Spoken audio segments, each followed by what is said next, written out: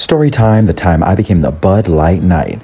Put on the suit, was super dope. Pretty heavy though. Got a tour of the Denver Broncos facility. It took two people to put the suit on. It was about 100 pounds. Uh, it was really tough. We did some green screen work for their Jumbotron at the Denver Broncos games, swung their towel, got to hold the Super Bowl trophy. It was overall an amazing experience. And uh, yeah, look for me on those Denver Bronco Jumbotrons. It was dope.